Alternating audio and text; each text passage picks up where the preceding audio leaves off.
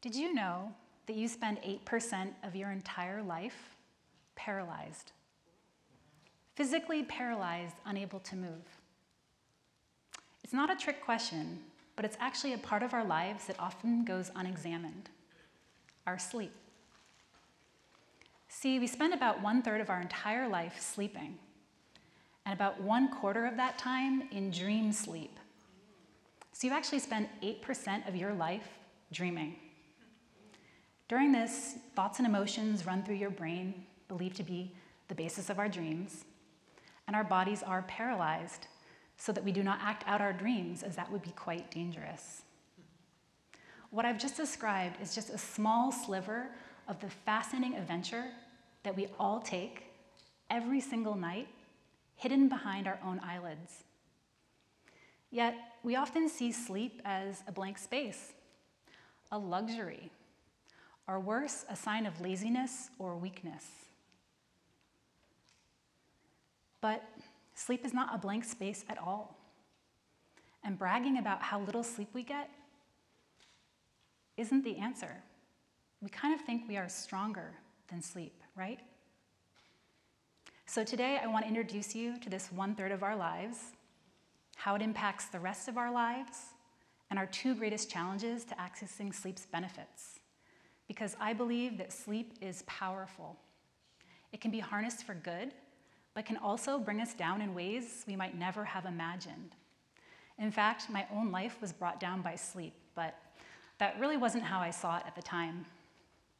It began with laughter. I was 21 years old, standing in the living room of my first grown up apartment in Boston, joking around with my roommate, when, as I laughed, my knees slightly buckled under me, almost as, as if someone had poked behind my knees, but no one had. This strange momentary sensation went away quickly, so I didn't think that much of it until a few weeks later when I felt that same feeling again when I was laughing. After a few times like this, I started to say to my friends, Don't make me laugh, my knees, my knees. Around that same time, one night, I awoke to hear a burglar breaking into our apartment, and I saw a man rush at me with his arms stretched out towards my neck. The strange thing is, I couldn't move to get away from him, so I just shuddered in terror, only to realize later there had been no burglar. About a year later, at age 22, I started law school. And I knew it would be challenging, but honestly, I wasn't that concerned. I'd always been known for my strong work ethic, but law school did prove more challenging than I imagined. My class notes were often a jumbled, nonsensical mess. And I would read these giant textbooks diligently for hours, only to realize I didn't remember what I'd read. At the end of my first year of law school, I got so tired driving just 15 minutes to school in the morning that I didn't remember my drive. Pulling into school, choosing a parking spot. And that really scared me. And for the first time, I thought, I might have a sleep problem. Even though the first primary care doctor I went to see told me that my sleepiness may be normal, that even she had to pull over and get a coffee when she drove sometimes, I continued looking for answers, eventually undergoing a 24 hour sleep study and going to the follow up appointment with a world renowned sleep specialist in a big fancy Boston hospital. This sleep doctor was now marveling at the results of my sleep study because apparently I'd gone into dream sleep so quickly and frequently during that sleep study that he couldn't wait to show his residents the results of my study. Honestly, at the time, I wanted to be a great law student, not a great neurological patient. But I guess there was kind of a strange sense of satisfaction that even people at Harvard were impressed by my brain. what happened next, though, shocked me. The doctor diagnosed me with narcolepsy. I thought, narcolepsy? Oh, no, no, no, no, no. That's a joke about someone falling asleep in their cereal bowl. That's not me. Well, it turns out movies got narcolepsy wrong. So, what is narcolepsy? It's actually a neurological disorder of the sleep wake cycle affecting about one in every 2,000 people. Researchers in 1999 discovered that a very particular group of neurotransmitters help to regulate dream sleep. And in people with narcolepsy, these neurotransmitters go inactive, leading to aspects of dream sleep invading into the daytime, where dream sleep does not belong.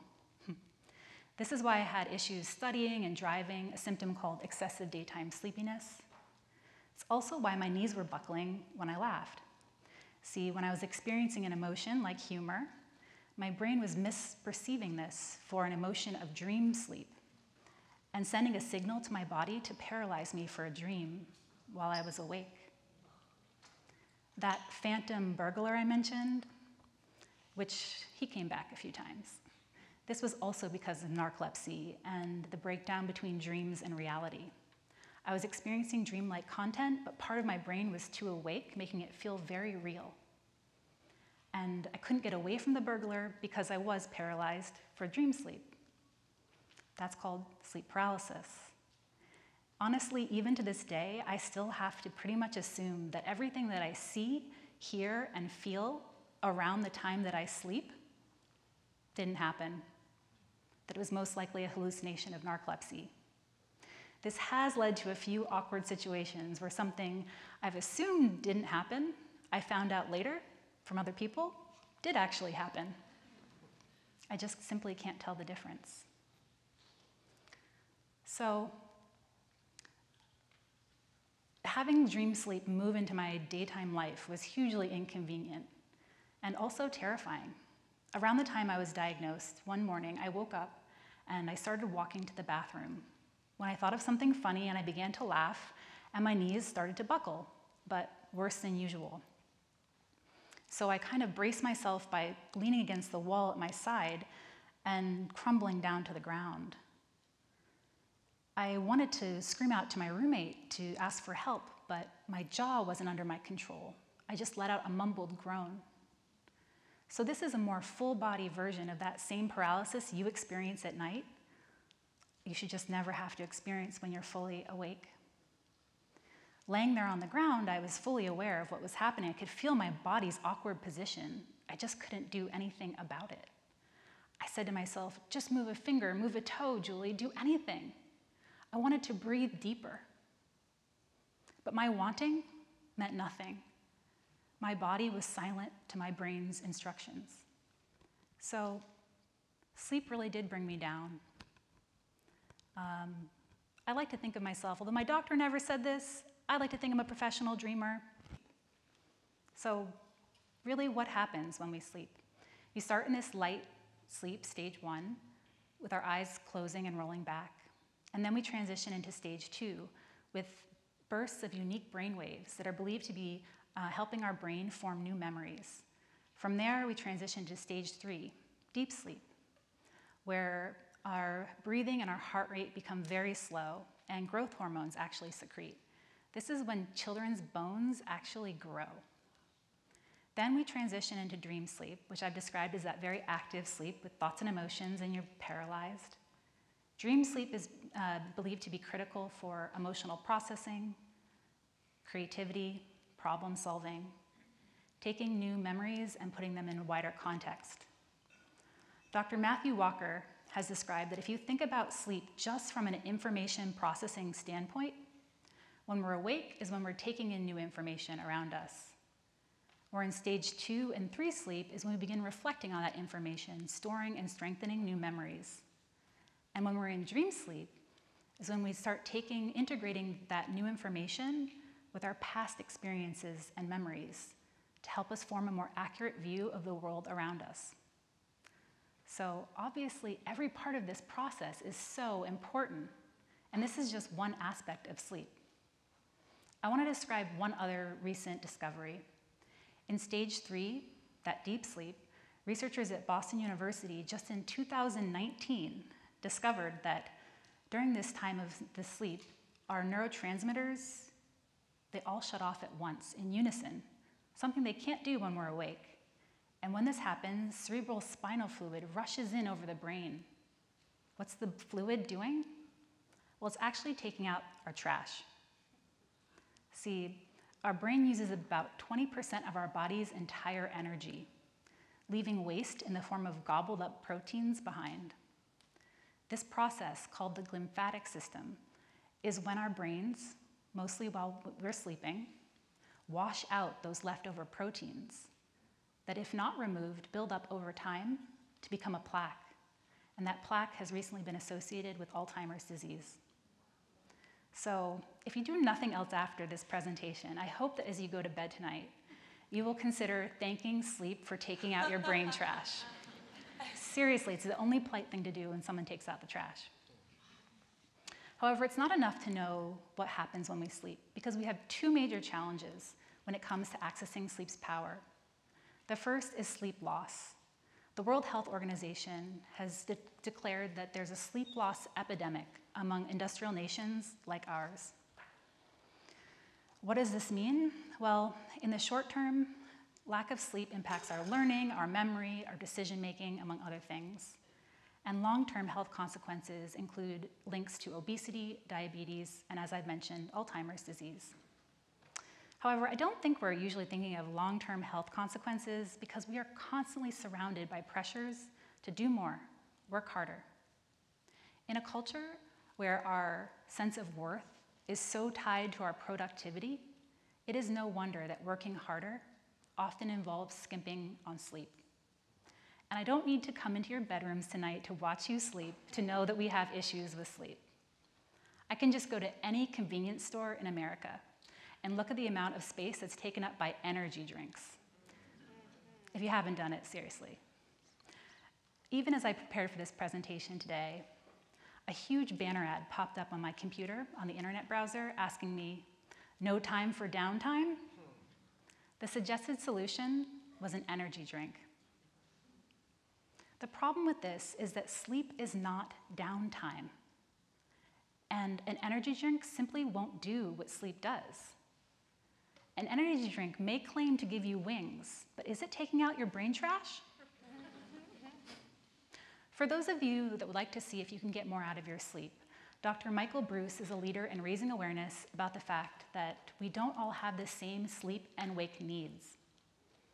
By learning about your chronotype, you can see that some people need more sleep than others. Some people have their best productivity at night, other people have their most clarity in the morning.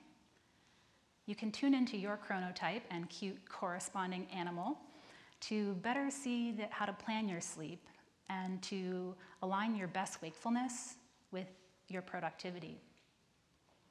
But at the same time, it's important to know that sleep loss goes far beyond our personal control. With socioeconomic factors, school start times, shift work, the safety of one's neighborhood, social pressures and discrimination, all of these things impact our ability to sleep. Sleep equity is a social justice issue. And policy changes are needed at every level to make sure that more people can get the sleep that they need and deserve. There is one thing that we can take better control over today, though, and that is sleep disorders. An estimated one in five Americans lives with a sleep disorder. So, statistically speaking, that means between you, the person in front of you, behind you, to your left and right, one of you would have a sleep disorder. So, you may wonder which one of them has a sleep disorder. Honestly, it'll be hard to tell. Sleep disorders are invisible for the most part. And you'll probably think it's not you that have a sleep disorder. But just know that if it was you, you probably wouldn't know it. Unfortunately, the majority of people living with sleep disorders today are undiagnosed and unaware of what they're up against. So, to evaluate whether you could have a sleep condition, ask yourself these two questions Do you have trouble sleeping throughout the night regularly? And do you have trouble maintaining wakefulness during the day regularly? Remember, having trouble maintaining wakefulness during the day doesn't always mean that you're falling asleep in your cereal bowl. It can look a lot like having a short fuse, not being able to concentrate, not remembering your commute. If even the slightest voice inside you thinks something might not be right, trust that voice. And if you answer yes to either one of these questions, it's important to consult a board certified sleep specialist to see whether you could have a sleep disorder. This is so important because treatments are available, and finding a community of other people who share a challenge that you have can be life changing. Narcolepsy is just one example. There are many different ways that sleep can break down. sort of like a car breaks down, you might not know what the issue is until a specialist takes a look. In speaking to thousands of people living with sleep conditions, I can tell you that everyone's experience is different. For me, living with a sleep disorder means that I know I cannot push myself bullheaded towards my goals by simply working longer hours than other people. I have to be creative, working in my pockets of wakefulness to pursue my goals. And in the 14 years since I've been diagnosed, I've still been able to do some pretty amazing things. I've run three marathons, published a memoir, and founded a nonprofit to make sleep cool. I dare say I have my dream job. My greatest hope is that today you can start writing your own sleep story, seeing that sleep is not something to avoid, but something to honor. I envision a world where pulling a sleep all nighter is the new badge of honor, because the rest of our lives may depend on the rest we get during our lives. So let's rest wisely.